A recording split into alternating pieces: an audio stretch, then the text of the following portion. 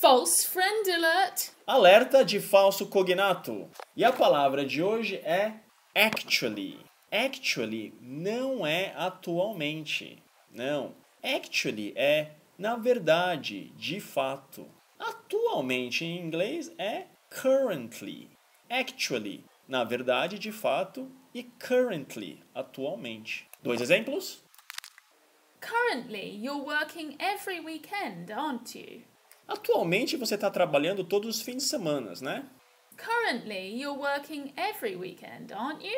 Actually, I'm not working every weekend. I'm working every other weekend. Na verdade, eu não estou trabalhando todo fim de semana. Um sim ou não. Actually, I'm not working every weekend. I'm working every other weekend. Actually, na verdade. Currently, atualmente.